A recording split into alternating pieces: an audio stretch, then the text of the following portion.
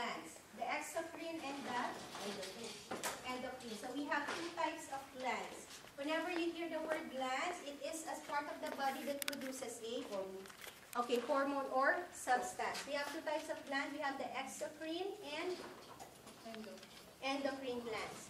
Exocrine gland are group of organs that once it produces a hormone, it first goes to a duct. If it's an endocrine gland, once it produces a hormone, it goes directly to the blood.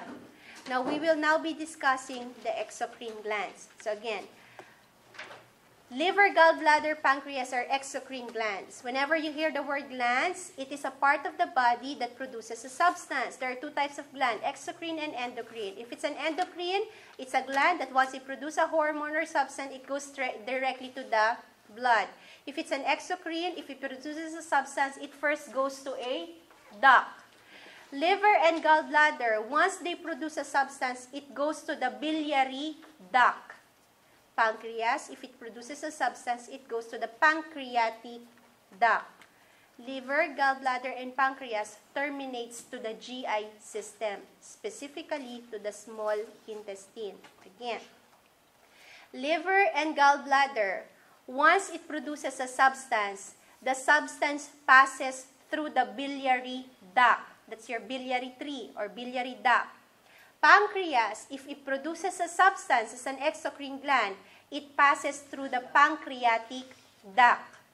Biliary tract and pancreatic duct terminates or the end connects to the GI system, specifically where small intestine. Yeah. Exocrine system. Yeah. So liver and gallbladder will go to a duct, pancreas will go to a duct. And this duct is connected to the small intestine. So liver and gallbladder, once they produce their substance, it goes to the biliary duct. Pancreas, once it produces substance, it goes to the pancreatic duct. The end of this duct terminates to the small intestine. So that's why exocrine and GI are highly connected with each other. Now let's go first to the liver. For easier understanding of liver, we'll just be discussing liver according to its mnemonic. We will be discussing liver according to its mnemonic. So we will be using the mnemonics liver. L-I-B-B-E-R. L stands for liver as the largest internal organ of the body. So if you will be asked, what is the largest organ of the body? Your answer would be largest organ of the body. Liver. It's your skin. Yeah? Largest organ of the body? Skin. Largest internal gland of the body?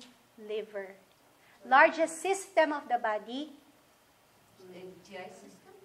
Integumentary system. Largest organ is skin.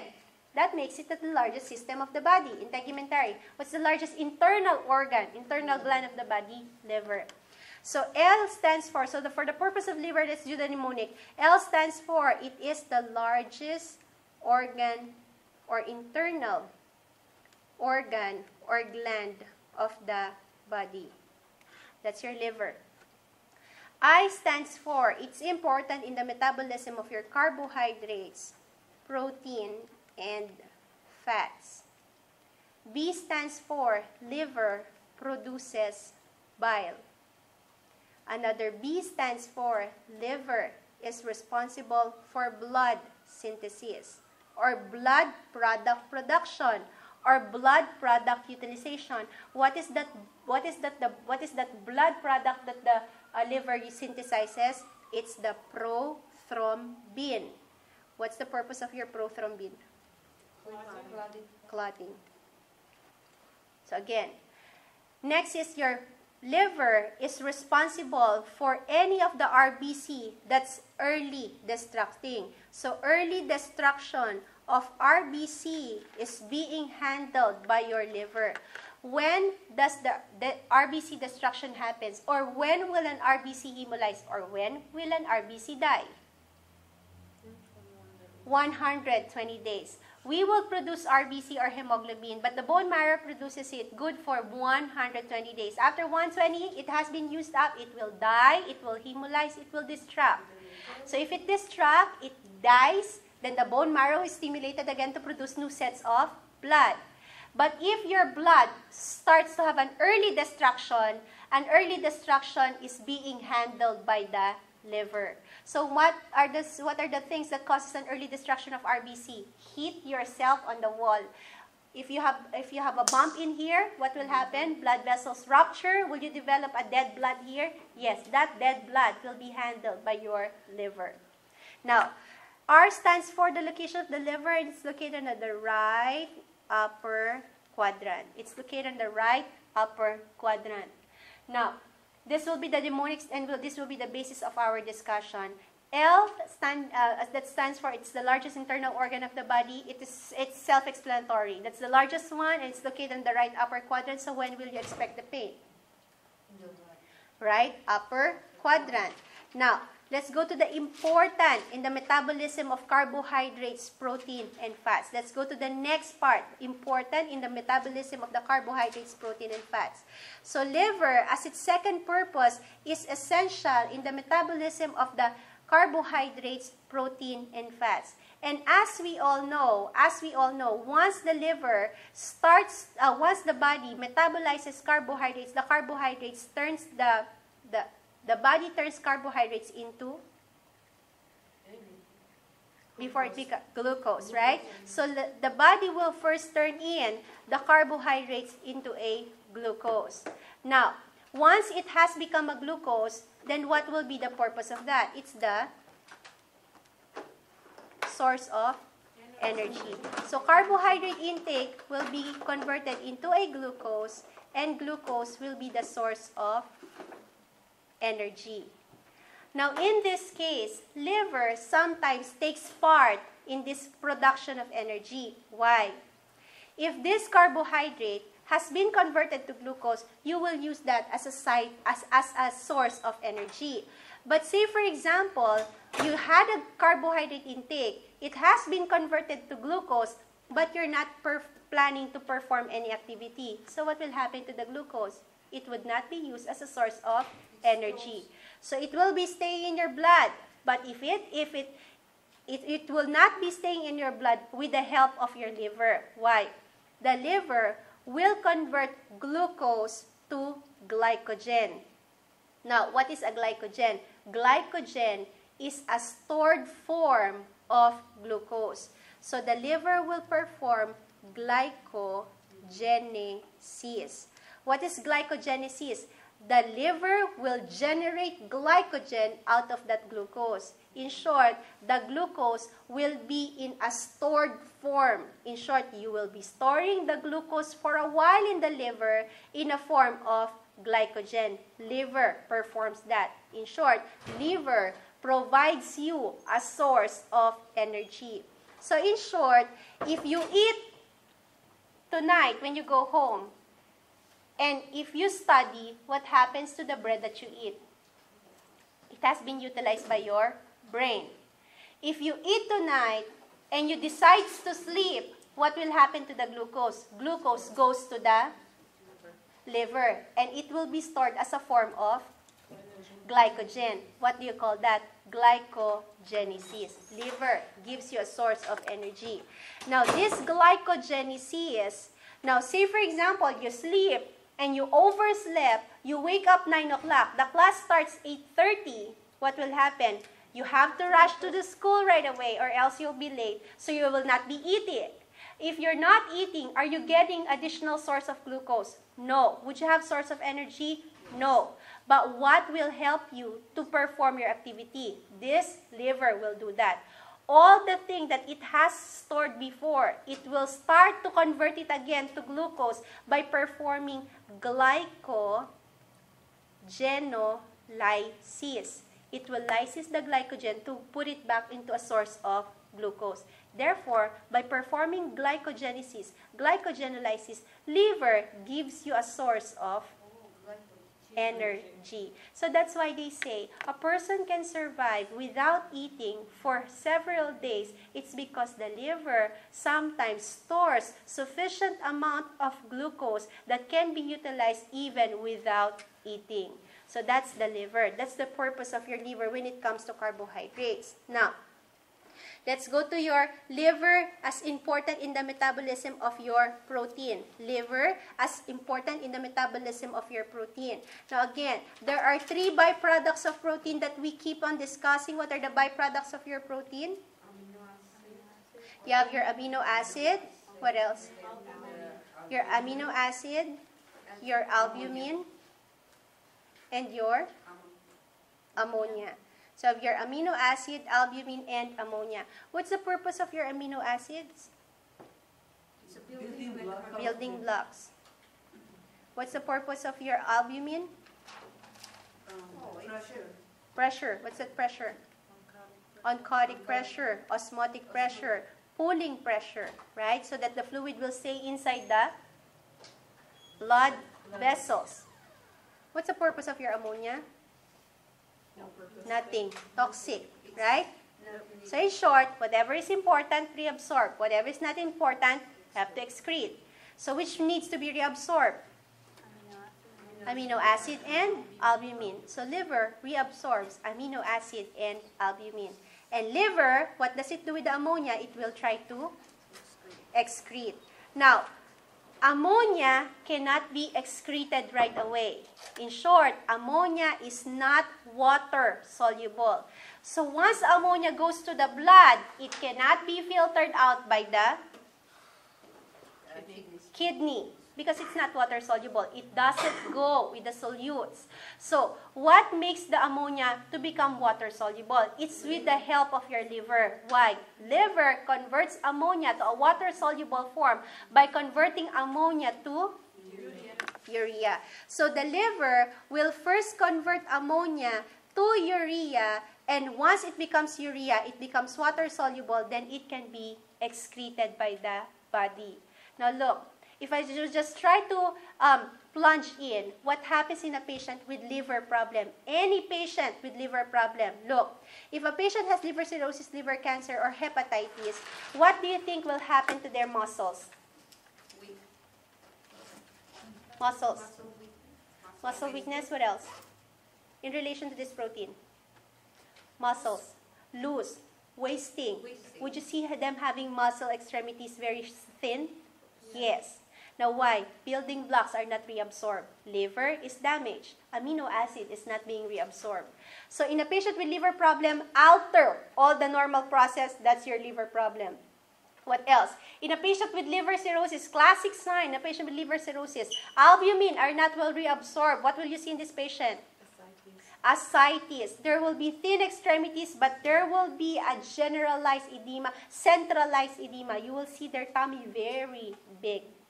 So they will have because of the loss of oncotic pressure. Now look, what else? In a patient with liver cirrhosis, what happens to the ammonia level in the blood? High. High. So if it's high in the blood, it goes to the Brain. brain. That's why they also have encephalopathy. So they will also have an altered level of consciousness because of the ammonia. Kidneys well functioning, but since ammonia cannot be converted to urea, ammonia goes to the brain. So a patient who has liver problem will also have encephalopathy. What is an encephalopathy? An altered level of consciousness due to high levels of ammonia. Mm-hmm. Now, if it's because of liver problem, you call that hepatic encephalopathy. If you, if you, if I would just uh, let you recall, encephalopathy can also seen in a patient with renal failure, right? Encephalopathy can also be seen in a patient with renal failure, not because of ammonia, but because the kidney fails to excrete All this uh, waste. Ways? urea. And urea, if it stays in one uh, area for a long time, it converts itself back to ammonia. So two things can be traced from having encephalopathy, liver, or kidney problem. That's your protein. What about your fats? What's the purpose of your liver when it comes to your fats? Liver emulsifies fat. In, a, in other term, liver escorts fats. Liver eliminates fats. Fats should never be reabsorbed. Or fats should never stay on the circulation or else it will cause atherosclerotic problem. Now, in short, the fats will be emulsified and will be escorted out from our from our blood vessels so that it will not cause atherosclerotic problem.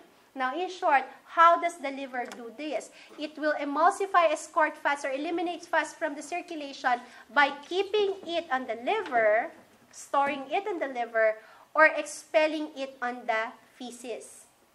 Now, both of this can be done by your liver. Now, if it's expelled in the feces, it's because the liver produces bile. So the one that coats the fats, so it will automatically go to the large intestine to the rectum is the bile. So if you eat a high fatty meal, your liver has to produce sufficient amount of bile so that it will go to the feces, it will go to the rectum, it will be eliminated as feces. If excessive amount of fat has been taken by a patient, some of this fat might not be eliminated with the use of bile, but what will happen to these fats? The fats will be stored in the uh, will be stored in the liver it because it was diverted because of the decreased function of the gallbladder. Now, in short, why? Liver produces bile, but the gallbladder stores bile. So, in short, you will cause the fat to stay in the liver. It's, it might be because you have not um, uh, you, you don't have a functioning gallbladder or you are having liver uh, you are having liver failure or normally you just have an increased fatty intake. So again, the fat will go into the liver for three causes. Normally, it will just go to the liver. It's because the intake is excessively high. It means the the the demand is very high when it comes to bile. Next is the fat will go to the liver because the gallbladder is not producing sufficient amount of bile. Why? What stores the bile? Gallbladder. And the third is liver fails to produce bile.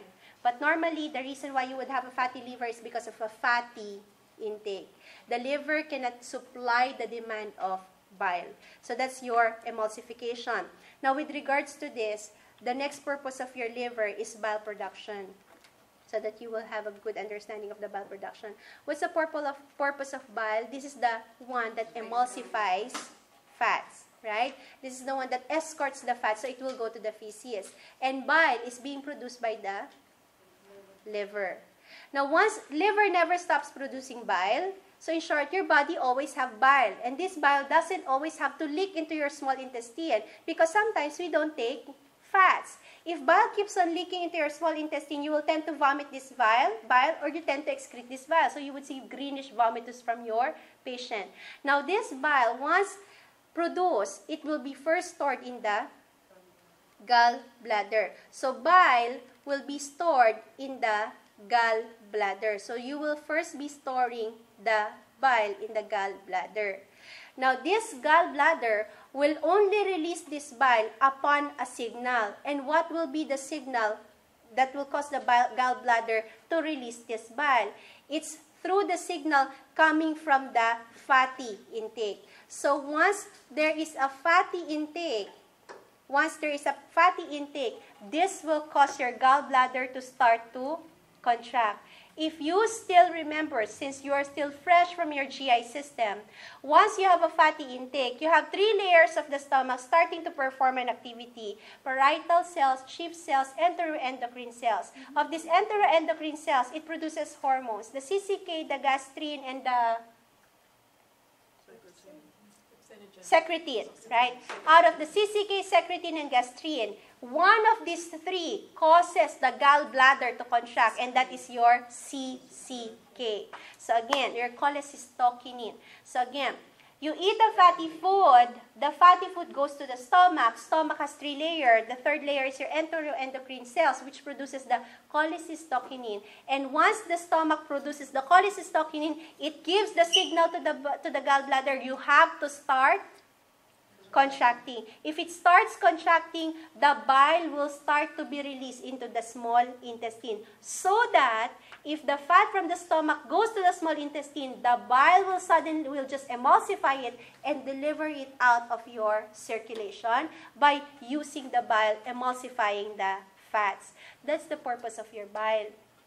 That's why if you have liver problem, what happens to the fat? It stays longer in the small intestine, it goes to your blood vessels, you'll be prone to atherosclerosis. It goes to the liver, causing your patient to have a fatty liver, liver enlargement, hepatomegaly. Or this can be because of an if be, this can be because of a removal of your um, gallbladder. So once gallbladder is removed, you don't have any more storage for the bile, meaning you might have fat intolerance. So that's your gallbladder problem. So that's the purpose of your liver. It is essential for bile production. Now next, liver, yes. Okay, so, okay, so the liver should be dealing with all this, but people still have, they have fine livers, but they still have cholesterol up. So what's up, why is, why is that? Now, it's because of, again, liver just helps in maintaining, keeping the fats away from the circulation. It's just a help, but it is, it, that's not their sole function. They might have a um, healthy liver, but if you have a great intake of fat, the liver cannot always give you the demand. So there's just an increased demand, but lesser supply coming from the liver because the intake is more than the um, production. So production of bile. So that's the reason why liver can sometimes cannot cope up with the need for bile production. So again, the re- the, the greatest way to prevent fat um, formation is of course handle the diet. Yes, question. If some, if somebody uh, has been diagnosed with low cholesterol, that has to do with liver function? Uh, Not really. Low cholesterol? No. Low cholesterol. Low cholesterol. Because cholesterol is from fat. So if you don't have cholesterol in the blood, then your liver must be working really good. And your intake must be really okay. Right? So that's your blood, uh, that's your bile production. Next will be your blood synthesis. The liver produces some clotting factor, and that is your prothrombin.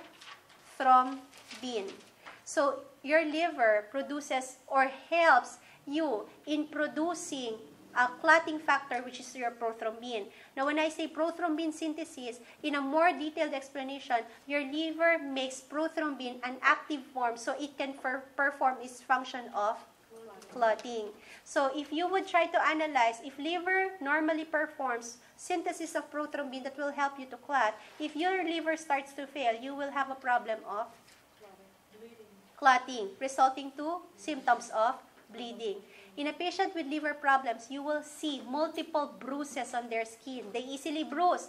Try to puncture them just with an check. Puncture them. Do not put pressure. They will bleed a lot on that puncture site. Why? Because they don't have sufficient amount of clotting factor, and one of those will be your prothrombin. A patient has liver problem will have multiple bruises, petechias, and ecchymosis around surrounding the body. It's because of the lack of prothrombin. It's because of the lack of a clotting factor, because of the liver failing to synthesize that clotting factor. So that's your blood synthesis. Now, next will be the early destruction of RBC. Next will be the early destruction of RBC. As I have told you a while ago, RBC, what's its main component? It's hemoglobin. How long does the he- no- normal hemoglobin lives? Three months or 120 days. After 120 days, what will happen to the hemoglobin? It will die. In a medical term, it will start to hemolyze. It will perform hemolysis. That's the normal process. If it hemolyzes, it dies, then the bone marrow produces another set of RBC, another set of hemoglobin. Now, if there is an early destruction, early death of this hemoglobin, liver handles that. Now, if the if the hemoglobin hemolyzes, you will have two byproducts. What are those two byproducts? You have your heme and globin. So synthesis, hemolyze. If the hemoglobin starts to die, it will break down into a simpler form, heme and globin. Globin is an iron source. Heme becomes bilirubin. And from our previous dis- discussion, is bilirubin an essential substance or a non-essential substance? Important, non-important? Not important or important. Not important. It's a toxic. It's something that you don't need in the body. Now, globin is an iron source. Heme is a, the results to bilirubin. So in short, one needs to be reabsorbed, the other one needs to be excreted. Once what needs to be reabsorbed? Globin. So globin will be reabsorbed. Heme needs to go out. Now, heme, before it goes out, it will break down into a more simpler form. It will break down to bilirubin. Now, what is bilirubin? Bilirubin is a substance that causes yellowish pigmentation. Bilirubin is a substance that causes yellowish pigmentation. Now, this bilirubin has two forms, a water-soluble and a non-water-soluble. So the bilirubin first is converted to a non-water-soluble form. You call this your indirect bilirubin. If I say that it's non-water soluble, what will pop into your mind?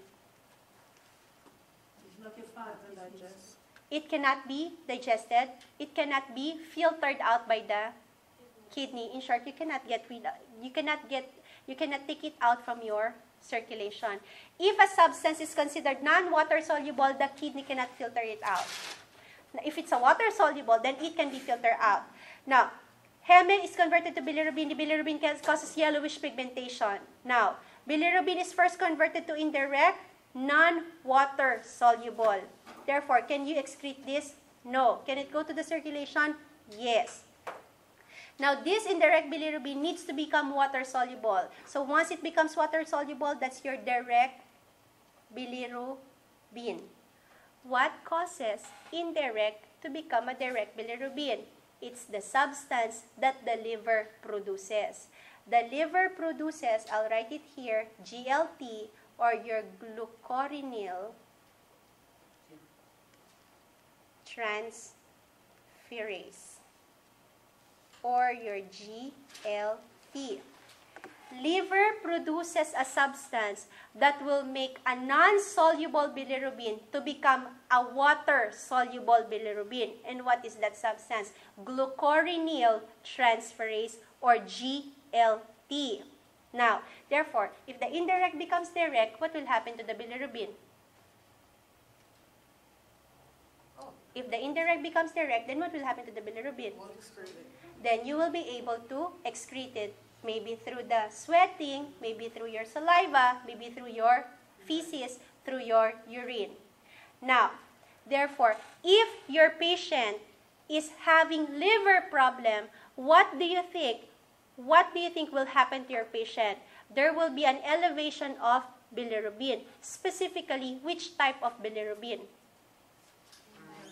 Indirect bilirubin. If indirect bilirubin elevates, would it go to the blood? Yes. Will it be excreted by the kidney?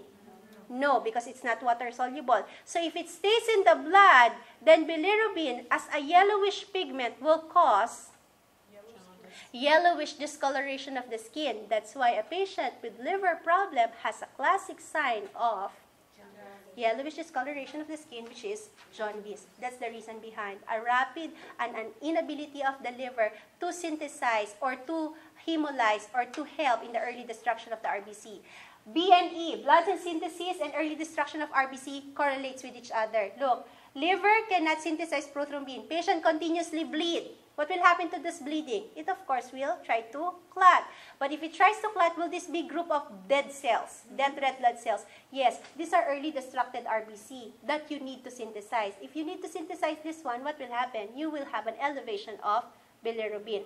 Just to make you to have a good understanding on this, if you bump your arm on a chair, on a table, you will, you will burst the blood vessels, right? You would burst a blood vessels there. But of course, you will not die because of this, just because of a bump. Why? You have good clotting factors, right? Your blood vessels bleed, bleed, bleed, bleed, bleed. But as the clotting factor forms, you will clot the blood. Would you have group of dead bloods here? Yes. Now, will this be managed by your healthy liver? Yes. Now, how would you know that your liver is start, starting to manage your blood clots here? You will have bruises, and it will start to, to um, have different colors until it becomes Yellowish. If it's yellowish, the liver is starting to convert it from the indirect to direct bilirubin. That's why a person who goes into hazing, you know the fraternities wherein they will start to do hazing, paddle the person or hit the person. Now, in a patient who have been physically abused, they don't just die because of the injury. They might die because of the liver failure. Why? Because there's too much bilirubin in the circulation that the liver needs to convert. Or they might die because of the kidney failure because there must, there's too much bilirubin in the blood that the kidney fails to excrete. So those are the reason why your liver is important when it comes to the destruction of RBC. And liver problem complicates each other's function because if liver bleeds, liver bleeds, liver has more bilirubin. If liver causes you to bleed, liver causes a person to have more bilirubin. And if liver bleeds, the blood contains a lot of protein, and protein is a source of protein is a source of let's do the complication. Patient bleeds because they don't have clotting factor. If patient bleeds, they have dead cells, they have more bilirubin. They will have more bilirubin in the blood. If patient bleeds, blood that they are bleeding contains protein. It's very high in protein. If it's high in protein, then the patient has high amounts of byproducts. And what are the byproducts? Ammonia. Ammonia. And if ammonia is present in a patient with liver problem, this will not be converted to urea. So the more the patient bleeds, the more they have the tendency to develop Liver cirrhosis or something? Encephalopathy. or altered level of consciousness. And the last will be the location of your liver, which is located at the right upper quadrant. So when will you palpate enlargement? Right upper quadrant. When will you expect the patient to complain of pain? Right upper quadrant. Will you expect increased abdominal girth? Yes. Now that's why sometimes for patient who has starting liver cirrhosis, liver damage, X-ray, X-ray can actually long X-ray, chest X-ray can actually confirm that or start the diagnosis. Why? Patient goes to an annual test, patient's lungs are being viewed. If there is an organ that's trying to protrude on the diaphragmatic areas of this patient, that's the liver that is trying to cirrhose already. So that sometimes patients are actually diagnosed because of a chest X-ray, because the chest X-ray show an enlarged liver. There's a protrusion of a part of the liver on the upper part of the diaphragm, uh, the right lung. It's because the liver is becoming cirrhotic. So that is your right upper quadrant. So you won't get lost with the purpose of your liver. Just go by the mnemonics liver, and that's what we're gonna use once we discuss liver cirrhosis and liver cancer. I'll see you tomorrow for the discussion of pancreas and gallbladder and the rest of the disorders.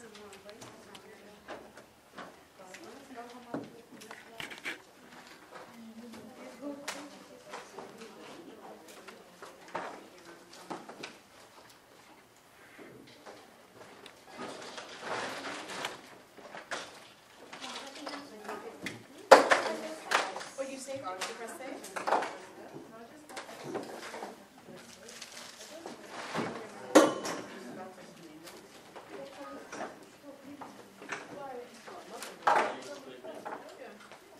I forgot to give you this. Good. Also, um, you said you're gonna give me that paper, the, the schedule or, You know, because we have to revise it again, because the teacher no, it's okay, I wanted the old one. I wanna keep it. Can I get a copy? Tomorrow, tomorrow, tomorrow. No, I, tomorrow you're gonna be busy leaving. Tomorrow. I'll give it to you tomorrow. Because I have to coincide with the lecture. No, no, not the new one, the Yeah, old one. mhm, I can give it to I wanna know which one I went through, so I keep it also. You want, you say just the syllabus, right? Yes, you don't have any old one? Uh, no, the old one, no. I gave it out already. I usually have to change it every every module. So So, oh, you I don't don't have, keep oh, copies. I don't know what happened to mine. I did, um, I can't even get from this. Um, Me too, but I just have to handle No, I as a know. mature person. You know? Oh, oh, you the teacher. With, um, um, you the, um, so maybe I should come to your office, get the paper. Okay. So you, um, because I lost it. I think I brought left it in class. Please, I will give you a revision form For the what? for production. Is that we did the, that's what I'm actually asking them if we did the, I think we did the, repro- the remediation for reproductive. I have to check it on my file. Because before I left, I, I thought I gave it already. I actually, I was actually asking people from in the front. He said, he said everything was done. The last one was reproduction, right? Yeah, reproductive system. We've not done it. I'll see, I'll check on it, then we will have to determine. Yeah, but not tomorrow. Bye-bye. Bye. I just want to get the, that paper from you. Okay, okay, that's good. Oh, this is mine? No. Oh, Who is it? I think Anithia. that's- What is mine? I'm I think that's confused. I'll be in the. What? Oh gosh, I'm so dumb. It is mine. Yeah, I always. I think it's mine. I don't know. Anna, he is not. Yeah, it's mine.